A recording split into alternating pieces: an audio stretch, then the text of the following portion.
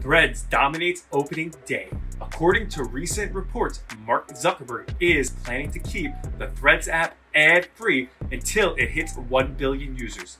The app, which was launched under the parent company Meta platform, is designed to provide a more intimate and personalized experience for users to connect with their close friends and family. Zuckerberg has reportedly stated that the app needs to be on a clear path to 1 billion people before monetizing it with ads. With over 10 million users signing up within hours of launch, the app is off to a really strong start. However, keeping the app ad-free until it reaches 1 billion users is a bold move that underscores Zuckerberg's commitment to creating a positive user experience.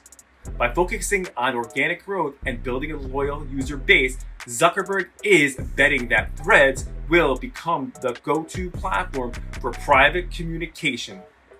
And if he succeeds in reaching his goal of 1 billion users, the payoff could be significant, both in terms of revenue and strengthening the Meta platform's brand.